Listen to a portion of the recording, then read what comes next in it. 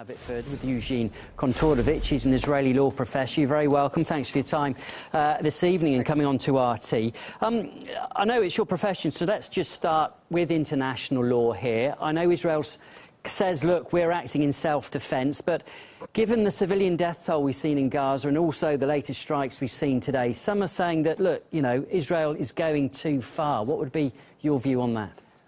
Uh, they're completely wrong. So I think it's important to start with what international law says.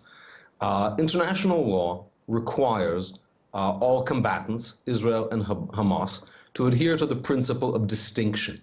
Distinction means military and civilian forces need to be separated and clearly marked so that both sides can target each other's military without killing civilians. Mixing the military amongst the civilians, putting military targets uh, military operations, rocket facilities in or in proximity to civilian targets itself is a violation of the law of war, and that's what Hamas is doing.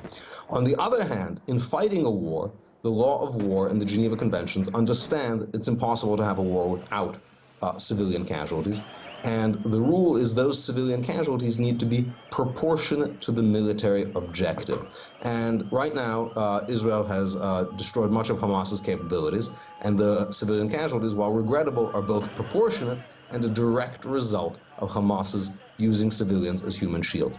Critics who are making this argument essentially say that if Hamas hides behind civilians, they should be able to fire rockets indiscriminately at Israeli civilians, and Israel just has to hold up its hands um, uh, uh, because they're hiding behind civilians. At the same time, Israel uses every single method to minimize civilian casualties. Um, and I should point out that the uh, the civilian casualties are uh, relatively uh, limited. Um, so far, so far, the vast majority of people killed in these operations have been Hamas fighters. Um, well, is that really true? I mean, we're seeing 200 dead. We know that, what, over 50 children are dead, 26 dead today.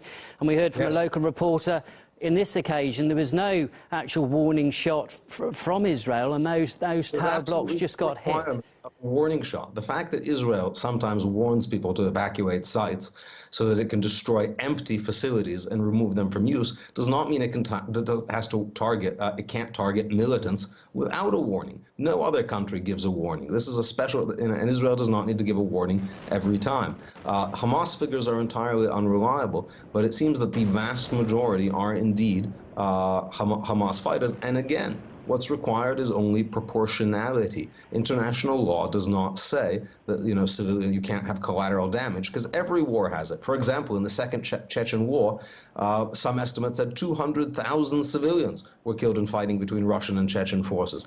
Uh, you know, is that proportionate? Is it not? Each strike needs to be uh, analyzed individually. But no one has ever fought a war without civilian casualties. And in this case, Hamas wants to have civilian casualties to generate the kind of coverage that have been uh, that we've heard for the past 15 minutes. Of course, they would obviously uh, deny that, though. Uh, given that we're just a week into this conflict, no side looks like it's going to back down.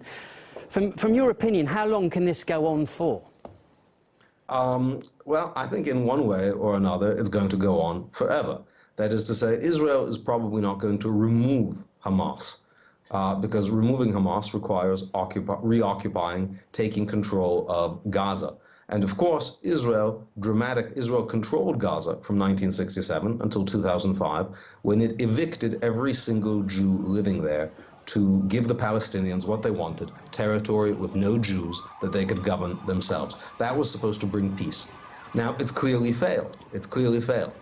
Uh, but at the same time, after the trauma of evicting Jews from there, it's unlikely uh, it's unlikely that Israel will take permanent control. So what this is is it's a permanent sore in Israel's side, a situation that they cannot permanently rectify, they cannot permanently fix, and also a reminder of what happens when land is given uh, to uh, uh, to people who are going to elect a terrorist government. Mm. So this this particular round of fighting is likely to end this week.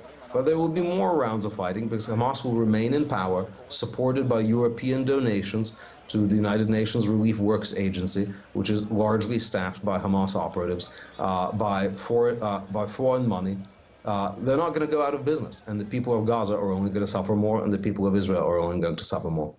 Uh, this, I mean, it's very hard, isn't it, to pinpoint exactly where these tensions came from for this particular conflict, but many people said, look, it was events in East Jerusalem and the eviction of, of Palestinians there. In your view, do you think that there won't be any peace then in this region of the world until land disputes are solved? And it sounds like that that's going to be very unlikely.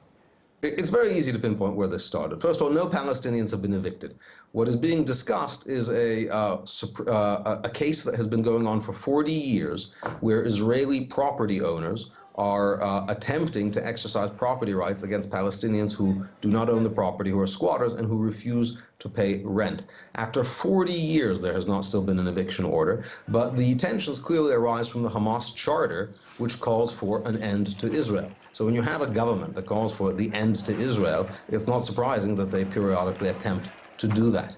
Uh, and uh, you know, until Hamas gets itself a different ideology, uh, and, and while it adheres to the ideology of eliminating Israel, of course there's going to be conflict with Israel because Israel does not want to be eliminated.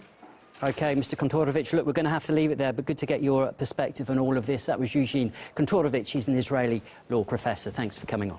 My pleasure.